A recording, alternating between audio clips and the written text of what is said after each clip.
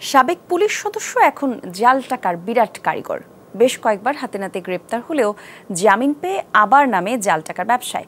রাজধানীর মোহাম্মদপুর এলাকা থেকে তাকে আটক করেছে মহানগর গোয়েন্দা পুলিশ। তার বাসা থেকে বিপুল পরিমাণ জাল টাকা ও তৈরির সরঞ্জাম উদ্ধার করেছে গোয়েন্দারা।